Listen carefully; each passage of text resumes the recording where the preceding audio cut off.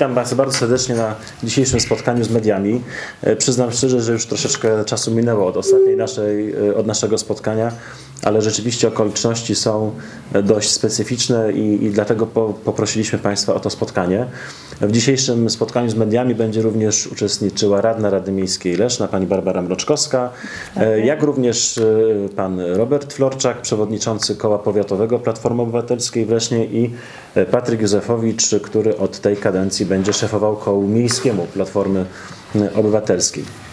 Proszę Państwa, ja przede wszystkim chciałbym rozpocząć od tego, że 12 listopada 2019 roku e, objąłem, e, złożyłem ślubowanie, objąłem mandat poselski. W związku z tym w najbliższych dniach minie dokładnie dwa lata od tego wydarzenia. E, To z całą pewnością zdobywanie nowych doświadczeń, poznawanie tej pracy od środka, e, troszeczkę zderzania tych e, wyobrażeń z rzeczywistością. Ale chcę również powiedzieć, że to jest ogromna świadomość odpowiedzialności, bycia w centrum tych wydarzeń, współtworzenie wydarzeń, więc no, mam świadomość, że jest to rzeczywiście, zwłaszcza być może w tych czasach, rzecz niezwykle ważna, żeby przykładać się do tej pracy, żeby pracować nie tylko w Warszawie na posiedzeniach plenarnych i Sejmie, ale również tutaj e, w terenie, bo wydaje się, że takie jest również oczekiwanie mieszkańców. E, Kilka takich e, rzeczy podsumowujących te dwa lata. No, nie można wspomnieć o tym, że mamy rzeczywistość koronawirusa i ona w bardzo dużym stopniu jednak odbiła piętno na tych działaniach, które mogliśmy podejmować praktycznie przez e, dobre pół roku, a w zasadzie z, z, z, takimi pewnymi obostrzeniami e, w zasadzie od już niemal półtora roku funkcjonujemy w tej rzeczywistości covidowej i staramy się w niej jak najbardziej m, odnajdywać. Jeżeli chodzi o pracę parlamentu, to e, z mównicy, z mównicy sejmowej e, zabrałem głos ponad 80 razy i tutaj jestem w pierwszej pięćdziesiątce, jeżeli chodzi o tą aktywność e, poselską. To były tematy przede wszystkim odnoszące się do bieżącej sytuacji, e, jeżeli chodzi o porządek obrad, czyli w, w przypadku poszczególnych projektów ustaw, ale również parę razy w sprawach e, bieżących. Również miałem okazję zabrać głos. Ponad 208 interpelacji, znaczy dokładnie 208 interpelacji, 25 zapytań poselskich. Większość z tych interpelacji, zapytań dotyczyła też Leszna i regionu. Podpisałem się pod 37 projektami ustaw. Aktualnie mam zaszczyt pracować w dwóch komisjach, to jest Komisja Infrastruktury i Komisja Sprawiedliwości i Praw Człowieka, e, ale należałem przez te dwa lata również do dwóch innych komisji, Komisji Samorządu Terytorialnego oraz Ko- Komisji e, e, Polityki Społecznej i Rodziny. Jestem członkiem pięciu grup parlamentarnych, takich międzynarodowych, dziewięciu zespołów, w tym Wielkopolskiego Zespołu Parlamentarnego, gdzie mam zaszczyt być sekretarzem, e, a także zespołu do spraw Pojezierzy Wielkopolskiej, gdzie jestem wiceprzewodniczącym. E, Więc e, no, ta praca rzeczywiście w, w parlamencie wydaje się, że jest dość, dość aktywna, choć pewnie nie mnie to oceniać. Jeżeli chodzi o funkcjonowanie w terenie, to od samego początku funkcjonują biura tutaj w Lesznie, ono jest czynne codziennie, to chciałbym podkreślić, od 8 do 14 e, jest biuro otwarte dla mieszkańców. Myślę, że od nowego roku tutaj po konsultacji również z Patrykiem Józefowiczem, który jest dyrektorem tego biura, Troszeczkę przemodelujemy ten system tak, żeby przynajmniej jeden dzień również było biuro czynne po południu. Najprawdopodobniej będą to poniedziałki, tak żeby te osoby, które gdzieś pracują zawodowo do godziny 15 też miały możliwość spotkania się tutaj z nami. Oprócz tego biura mamy również biura w Rawiczu, w Gostyniu e, i w Kościanie. Tutaj chciałbym podkreślić, że wszystkie te biura są wspólnymi biurami z panem senatorem Wojtkiem Ziemniakiem, także ta współpraca na tej linii parlamentarnej tutaj naszych, że tak powiem, przedstawicieli e, z byłego województwa leszczyńskiego układa się bardzo dobrze. Można kontaktować się za pomocą również poczty mailowej, telefonicznie i rzeczywiście w tym czasie od koronawirusowym zdecydowana większość kontaktów tak właśnie tak właśnie wyglądała. Od jakiegoś czasu ruszyliśmy także z taką akcją mobilnego biura poselskiego. Spotykamy się z mieszkańcami e, miast, miasteczek, ale także wsi.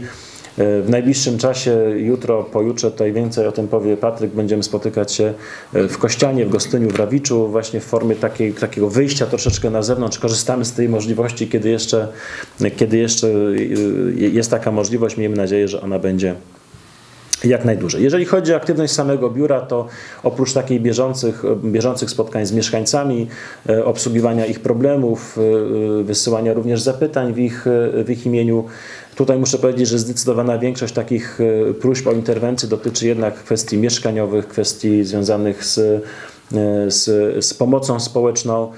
E, w przeciwieństwie do tych moich doświadczeń z czasów, kiedy byłem wiceprezydentem i z wicestarostą, to muszę powiedzieć, że e, stosunkowo mało jest takich próśb dotyczących e, znalezienia miejsca pracy, co pokazuje, że rzeczywiście ta sytuacja chyba jednak na rynku pracy w naszym regionie nie, nie, jest, nie jest najgorsza. Z takich rzeczy, które organizowaliśmy, no to oczywiście wsparcie dla Wielkiej Orkiestry Świątecznej Pomocy, fundowanie wyjazdów do Sejmu, ale również podczas ogólnopolskiego strajku kobiet, y, pomoc prawna, y, miejsce, gdzie można przyjść, w przypadku różnych akcji społecznych, również orkiestry, tak, takie, gdzie można wypić herbatę, ogrzać się troszeczkę. W 2021 roku można było uzyskać tutaj pomoc przy spisie powszechnym. Jeżeli chodzi o kwestię też wizyt naszych e, przedstawicieli naszego terenu w parlamencie, to dwukrotnie udało się taką wycieczkę również zorganizować. Uczestniczyło w niej ponad 100 młodych ludzi z Leszna, z regionu leszczyńskiego. Ostatnio spora grupa też z pierwszego liceum, więc myślę, że to też jest bardzo ważna taka rzecz edukacyjna. Oprócz tego pod moim patronatem w, w, w powiecie rawickim odbył się również konkurs wiedzy o Sejmie. A więc widzicie Państwo, że no staramy się jak najwięcej takich akcji również y, dla mieszkańców czy związanych z mieszkańcami przeprowadzać. No to przede wszystkim były również, był również czas spotkań e, z czołowymi politykami e, Platformy Obywatelskiej. Tutaj trzeba powiedzieć, bo jesteśmy z tego ogromnie dumni, że mieliśmy w Lesznie zarówno Grzegorza Schetyny, jak i Grzegorza Budkę. Czekamy teraz na e, Donalda Tuska. Mam nadzieję, że w najbliższym czasie odwiedzi Leszno, choć na pewno nie będzie to ten rok. Myślę, że gdzieś tam pewnie w połowie przyszłego roku taka wizyta jest możliwa. Mieliśmy kilkakrotnie Małgorzatę Kidawę-Błońską. Chciałbym również poinformować, tutaj o szczegółach będą mówić zarówno Patryk Józefowicz, jak i Robert Forczak, że mamy już też umówione wizyty w listopadzie Tomasza Siemoniaka, a w grudniu pani Izabeli Deszczyny. Także z całą pewnością tej okazji do spotkań i rozmów będzie dużo. Jeżeli chodzi o kwestie związane z tym dwuleciem, to chciałbym tutaj bardzo mocno podkreślić to, że staram się na bieżąco y, spotykać się z y, naszymi samorządowcami. W zasadzie ze zdecydowaną większością tych samorządowców w ciągu tych dwóch lat udało mi się spotkać, porozmawiać. To też był y, bardzo często taki y, powód do tego, żeby y, odpowiednie interpelacje w tym, w tym zakresie, który dotyczy samorządowców, bo to są nie tylko wójtowie, burmistrzowie, ale również sołtysi. Tutaj chciałbym podkreślić, że ta, te zaangażowanie rzeczywiście sołtysów też jest dość duże. Przede wszystkim jeżeli chodzi o infrastrukturę, o światłowody, o, o kwestie gazyfikacji. To są te tematy, które, e, które e, gdzieś były takimi najbardziej sygnalizującymi. No chciałbym proszę Państwa powiedzieć, że e, czuję się e, jako ten głos, e, który reprezentuje naszą wspólnotę w parlamencie. Jak bardzo ten głos jest słyszalny i jak on jest skuteczny, to niestety wynika też z układu bycia w opozycji. Państwo widzicie, obserwujecie, wiecie, że nawet jeśli nie wynika to wprost z przepisów, to niestety praktyka jest taka, że bardzo często parlamentarzysta opozycji zgłaszając swoje gdzieś tam wnioski, niestety nie, nie, nie uzyskuje takich y, efektów, na których by mu zależało. Natomiast myślę, że to wszystko, co, co gdzieś jest w, w, w, mojej mocy jako parlamentarzysty, jako tej osoby, która też powinna zwracać uwagę na pewne kwestie regionu w Warszawie, jest, jest realizowane. Bardzo mocno chciałbym skupić się i skupiam się na tym, żeby budować e, wspólnotę, aby nie budować e, i nie pogłębiać podziałów, które są w tej chwili w społeczeństwie. Myślę, że to jest w dużej mierze również odpowiedzialność nas, polityków. E, staram się za każdym razem bardzo mocno ważyć słowa, nie, nie podgrzewać tej atmosfery, nie wykorzystywać też pewnych kwestii do takiej bieżącej walki politycznej. Natomiast tutaj chciałbym dosłownie jednym zdaniem nawiązać do tego, co, co, co, co wydarzyło się w sobotę, w niedzielę w wielu miastach w Polsce. No nie, uważam, że też nie można być obojętny na pewne, na pewne rzeczy i e, nawet jeśli wprost mm, dramaty, które się dzieją nie wynikają z przepisów prawa, to, to jednak gdzieś e, e, wewnętrznie taka bym powiedział samokontrola, czy samodyscyplina, czy, czy, czy, czy pewna forma mm, wycofania związanego z jakby przyjmowaniem pewnej polityki centralnej i świadomości, jaka ta polityka jest, niestety może prowadzić do czasami wielkich dramatów. Więc myślę, że tutaj więcej powinniśmy siebie słuchać, powinniśmy jako, jako społeczeństwo mieć więcej zaufania do siebie, więcej zaufania do tego, że każdy człowiek będzie tym swoim losem kierował w sposób y, dla niego najlepszy. Często podejmując, tak jak wspomniałem, to w sobotę decyzje czy wybory, które przecież z natury nie są, czy nie muszą być łatwe ani, ani przyjemne. I w każdym takim wyborze, jaki, jaki obywatel polski dokonuje, jeśli jest on oczywiście zgodny z, z prawem, e, a chcielibyśmy, żeby te prawo też szanowało właśnie tą, tą indywidualność człowieka, żeby mógł być e, w tym wspierany przez państwo, tak jak wspomniałem, niezależnie od tego, jaką decyzję e, podejmie. Natomiast, proszę Państwa, też chciałbym wspomnieć, dlatego że zakończyliśmy w, w sobotę w Poznaniu również cykl wyborczy w ramach Platformy Obywatelskiej.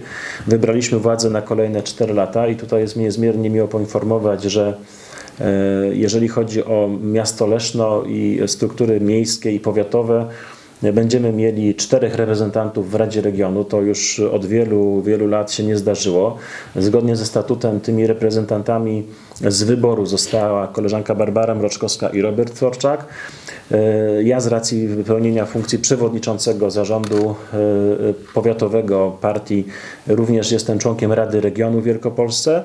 Natomiast w minioną sobotę e, e, Rada Regionu dokonała wyboru zarządu i chciałbym również poinformować, e, z czego jesteśmy bardzo dumni, że pan Leszek Kaszuba, osoba, która jest w Platformie od samego początku, od 20 lat również został wybrany do zarządu partii w Wielkopolsce i jednocześnie również stał się członkiem Rady Regionu, więc mamy tutaj czterech reprezentantów. Duże wyróżnienie i to myślę jest zasługa e, przede wszystkim ciężkiej pracy, jaką e, pani Barbara Mroczkowska wykonywała w zarządzie partii poprzedniej kadencji, jest, e, jest docenienie tej pracy i powołanie pani radnej Mroczkowskiej do Rady Krajowej. To będzie jedyna osoba, która będzie reprezentowała nasz region w tej, w tej Radzie. Tylko 11 przedstawicieli z Wielkopolski wchodzi w skład tej Rady Krajowej. Tym bardziej jest nam miło, że wśród tego grona jest właśnie koleżanka Basia Mroczkowska. Natomiast jeżeli chodzi o moją osobę, Zostałem delegowany też jako jedyny z Wielkopolski. Jest 16 takich przedstawicieli do Krajowego Sądu Koleżeńskiego. To też traktuję jako duże wyróżnienie i, i taki powiedziałbym objaw zaufania, dlatego że to jest ciało, które decyduje o wszystkich takich najważniejszych sprawach e, personalnych w ramach e, partii, więc jeżeli są jakieś dylematy związane z odpowiedzialnością dyscyplinarną, E, e, której przecież najwyższym, e, najwyższą sankcją jest, jest usunięcie z członkostwa partii, no to poczytuję sobie to jako duży, duży również zaszczyt i, i wyróżnienie. W minionym tygodniu wyłoniliśmy również zarząd powiatowy Platformy w Lesznie. Liczy on 12 osób. Bardzo się cieszę, że mamy w tym gronie większą reprezentację z powiatu leszczyńskiego, że mamy więcej pań, które zasiadają w tym zarządzie. Mamy również wybraną Radę Regionu, to jest 20 osób. Ja myślę, że tutaj po, po, po spotkaniu nam Państwa maile zostaną wysłane dokładne informacje dotyczące konkretnych nazwisk. Ja już tutaj nie będę ich wymieniał. Natomiast chciałbym też powiedzieć, że mamy silne koła e, właśnie powiatowe i koło miejskie. I tutaj e, e, pewnie też parę zdań na ten temat będą mówili koledzy. Także ja, proszę Państwa, jakby kończąc te tematy partyjne, myślę, że koleżanka się nie obrazi, bo potem parę zdań też o samym mieście, ale na temat funkcjonowania kół może poproszę najpierw. Platformy cały czas się rozrastają. W ostatnim miesiącu to jest ponad 10 osób, które dołączyło tutaj do naszego koła miejskiego. Cieszymy się, że to są radni miasta Leszna. Wiem, że też w powiecie dołączyli radni powiatowi, więc tworzymy już silną, e, zgraną ekipę. Chcemy działać wśród mieszkańców miasta, dlatego też kolejne nasze inicjatywy, które będziemy podejmować w najbliższą środę od godziny 11.30 do 13.30 zapraszamy e, na rynek. Będziemy oczywiście dostępni razem z radnymi miasta e, Leszna. Będzie można zgłaszać swoje problemy w ramach akcji mobilnego biura poselskiego wraz z radnymi Koalicji Obywatelskiej. Przygotowaliśmy też parę niespodzianek dla mieszkańców związanych z Świętem Niepodległości, więc myślę, że e, warto to nasze mobilne biuro odwiedzić. Od połowy listopada, kontynuując tutaj projekt, który rozpoczęła pani radna Barbara Mroczkowska, e, wyjdziemy z inicjatywą tak zwanej koperty życia. Wiemy, że mamy teraz okres covidowy, wielu mieszkańców choruje a niezbędne informacje medyczne są bardzo potrzebne w przypadku przyjazdu czy to karetki pogotowia, czy, czy lekarza. Dlatego chcemy stworzyć projekt Koperta Życia. W tej kopercie będą zawarte najważniejsze informacje dotyczące e, zdrowia. Każdy mieszkaniec, który będzie chciał odebrać taką kopertę, może zgłosić tutaj do, do biura poselskiego, bo będzie to wspólny projekt z panem posłem Grzegorzem Rusieckim. Te koperty będziemy rozdawać także podczas naszych e, mobilnych akcji biura poselskiego. I przygotowaliśmy także dwie wizyty. Chcemy, żeby nasi parlamentarzyści e, zasiadający i w Sejmie, i w Senacie odwiedzali nasz region leszczyński. Te wizyty cieszą się bardzo dużą popularnością. E, chcemy rozmawiać na tematy bieżące, dlatego zaprosiliśmy e, w pierwszej kolejności Tomasza Siemoniaka, byłego ministra obrony narodowej. Tutaj będą kluby obywatelskie, na których porozmawiamy o naszej obecnej sytuacji na granicy z Białorusią. 24 listopada zapraszamy mieszkańców na wieczorne spotkanie, szczegóły w naszych mediach społecznościowych. A drugą osobą, która odwiedzi region leszczyński będzie e, była minister finansów w rządzie Platformy Obywatelskiej, pani poseł Izabela Leszczyna. Tutaj będziemy chcieli przedstawić te założenia Polskiego Ładu, pokazać na czym stracimy, być może na czym zyskamy, ale tutaj pani Izabela e, będzie omawiać szczegółowo te aspekty ekonomiczne. Planowane jest także spotkanie z przedsiębiorcami, których także zapraszamy do porozmawiania o tym.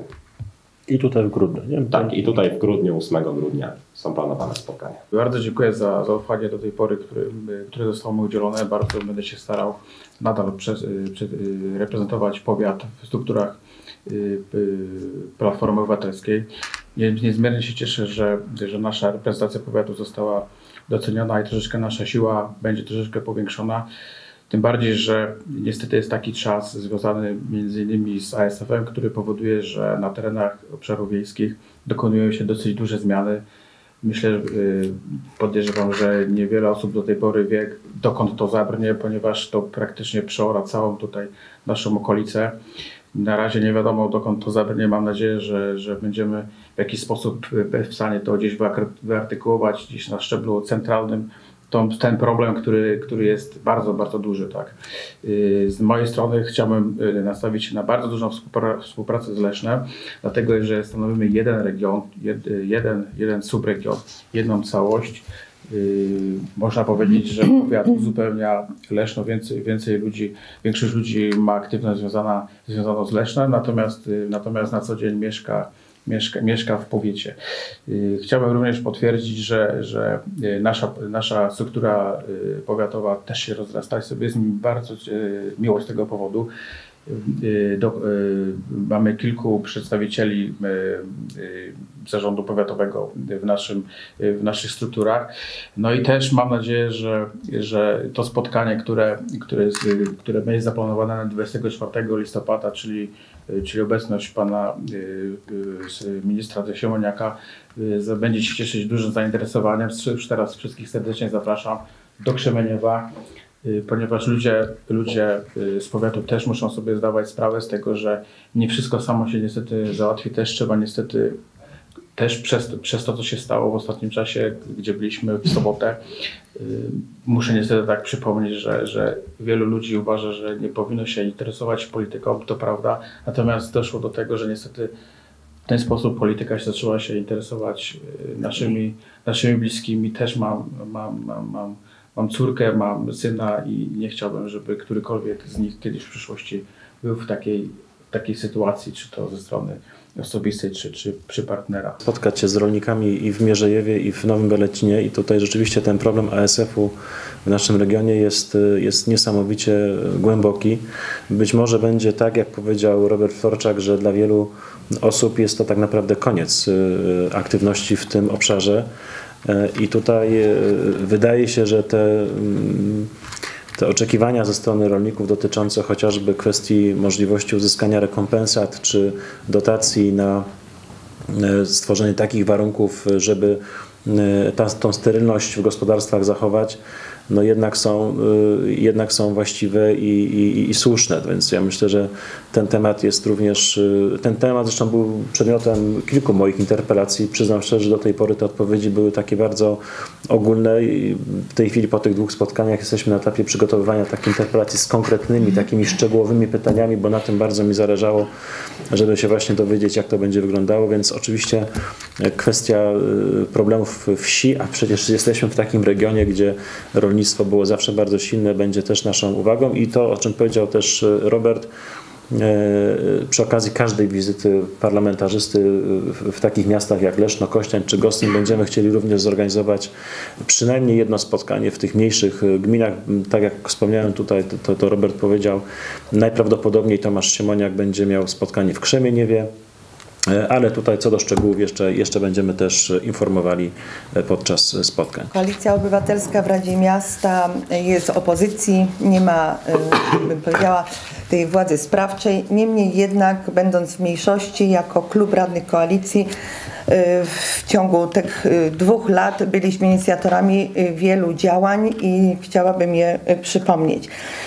Mm, współ- Współtworzyliśmy zmiany do statutu miasta Leszna i oraz na kolejne uchwały dotyczące regulaminu budżetu obywatelskiego. Pracowaliśmy y, przy y, statucie miasta. Zgłosiliśmy nasze wnioski do budżetu i znaczy sukcesywnie zgłaszamy nasze wnioski do budżetu i do wolnych środków. Wprowadziliśmy uchwałę y, w sprawie współfinansowania przez samorząd programu in vitro. Zainicjowaliśmy procedurę budowy nowego toru motokresowego z dala od zabudowań mieszkalnych. Byliśmy inicjatorami i wprowadziliśmy uchwały Czyste powietrze i wolne media. Wnieśliśmy również poprawkę do uchwały, dzięki której honorowi dawcy krwi mogą korzystać z bezpłatnych przejazdów y, komunikacji miejskiej. Dopominaliśmy się, no i myślę, że ze skutkiem e, mm, do obudowy łącznika między rondem Antoniny a Gronowym. Również jako koalicja y, cały czas walczyliśmy i walczymy o modernizację naszych ulic w mieście. Y, Jesteśmy również inicjatorami nadania imienia parku przy ulicy Unii Europejskiej parku nazwy Park Tolerancji.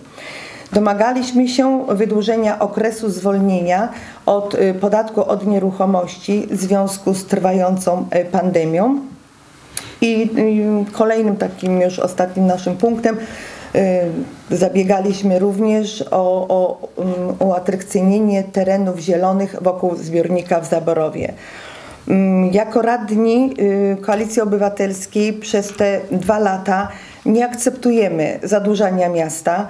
Jesteśmy przeciwni odsuwaniu y, remontu ulicy Święciechowskiej i ulicy Kiepury.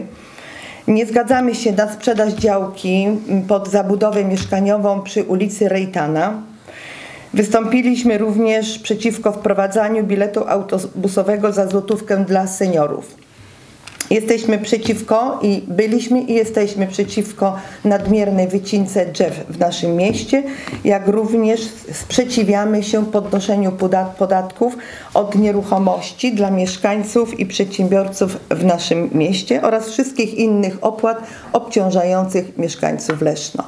To jest takie podsumowanie naszej dwuletniej pracy y, w tej kadencji Klubu Radnych Koalicji Obywatelskiej. Podsumowujecie Państwo i Pan Poseł i mm, radni Leszna, jak rozumiem, półmetek, no to ja zapytam, jaka jest koncepcja na kandydata, kandydatkę na prezydenta Leszna. Półmetek, najwyższy czas żeby kampania powoli zaczynała ruszać, bo w rok tego nie da zrobić. Z punktu widzenia dziennikarzy na pewno byłoby e, tak, że e, rzucić nazwisko to by było takie najlepsze. Natomiast chcę powiedzieć zupełnie e, otwarcie. Proszę Państwa, jesteśmy na półmetku kadencji. Prezentujemy to, co udało się dokonać i w samorządzie miasta Leszna, i w, w moim przypadku, w przypadku pracy parlamentarnej. W najbliższym czasie również przedstawimy informację dotyczącą pracy naszych radnych w powiecie, bo przypomnę, że w tej kadencji jesteśmy w koalicji rządzącej w powiecie, więc tutaj też mamy swoje, swoje sukcesy. Ja powiem w ten sposób. y, Tą kampanię, mm, panie redaktorze, prowadzimy przez cały czas. Od momentu, kiedy rozpoczęliśmy tą kadencję w samorządzie, y, w, w mieście czy, czy w parlamencie, to, to rozpoczyna się również ten czas y, naszej kampanii, dlatego że my wszyscy, jak tutaj siedzimy, ja ostatnio miałem, proszę Państwa, taką swoją rocznicę 19 lat pracy w, w strukturach społecznych, tak, publicznych. Mając 19 lat zostałem radnym, dzisiaj po 19 latach świętuję ten jubileusz, więc mogę powiedzieć, że śmiało mogę powiedzieć, że połowę życia jestem y, osobą aktywną y, samorządowo czy politycznie i najlepiej, y, myślę, mamy świadomość tego, że to nie jest tak, że my przekonamy mieszkańców w ciągu ostatnich trzech miesięcy prowadzenia intensywnej kampanii, że mamy jakiegoś świetnego kandydata czy kandydatkę. Ten kandydat czy ta kandydatka całym swoim życiorysem zawodowym, nie tylko tym związanym z funkcjonowaniem publicznym e, będzie przekonywać i wierzę, że przekona, dlatego że Leszno zasługuje na, bardzo dobrego prezydenta, będzie przekonywać mieszkańców do tego, aby chcieli dokonać zmiany i wybrać kandydata, który będzie kandydatem Platformy Obywatelskiej. I chcę powiedzieć, e, i tutaj pewnie Państwa nie zaskoczę, że oczywiście w gronie e, członków Platformy i sympatyków jest bardzo dużo takich osób, które mogłyby podjąć się tego wyzwania, e, chociażby patrząc na naszą reprezentację w Radzie Miejskiej Leszna. Tutaj przecież ta aktywność, co trzeba podkreślić, bardzo merytoryczna. E, Bardzo merytoryczna aktywność naszych radnych jest, e, myślę, też przez Państwa dostrzegana, więc Oczywiście żadnych nazwisk nie podamy. Mamy ten, y, mamy ten, proszę Państwa, kalendarz wyborczy taki, jaki mamy, czyli będziemy mieli wybory prawdopodobnie, jeśli wszystko zostanie w terminie i spełnią się te zapowiedzi PiSu dotyczące możliwości przedłużenia ka- kadencji samorządu, no to mamy taką sytuację, że prawdopodobnie na jesień 2023 roku będziemy mieli wybory parlamentarne i dopiero po pół roku będziemy mieli wybory samorządowe. Myślę, że ten, y, y, te wybory parlamentarne też w pewnym mierze mogą y, determinować naszą obsadę, jeżeli chodzi o kandydatów do Rady Miasta i na prezydenta, więc to są wszystko takie, powiedziałbym, rzeczy, które trzeba brać pod uwagę. E, Z całą pewnością też te spotkania, o których e, wspomniał Patryk, czyli te mobilne biura w Lesznie z udziałem radnych, które już odbywały się e, czterokrotnie we wrześniu i teraz planujemy kolejne w najbliższą środę, są też taką okazją do tego, żeby z mieszkańcami porozmawiać, popytać ich o, o, o ich wrażenia, o ich spojrzenie na to, co się dzieje w mieście.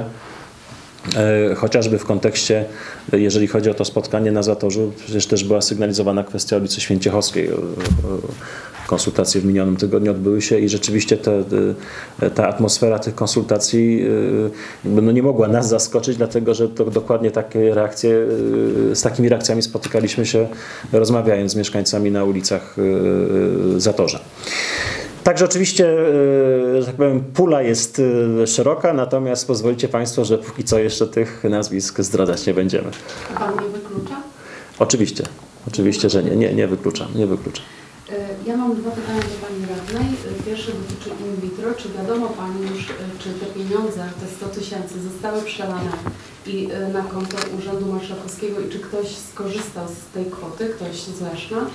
I drugie pytanie dotyczące tej samej kwestii, czy Państwo w budżecie na rok 2023 też będziecie o taką kwotę wnioskować? I drugie pytanie już niezwiązane z tym. Y, Wspomniała Pani, że jesteście Państwo przeciwni y, podnoszeniu podatków i opłat, które dotyczą mies- mieszkańców. Czy w takim razie zamierzacie Państwo w jakiś sposób protestować przeciwko planowanej podwyżce opłat za wywóz śmieci?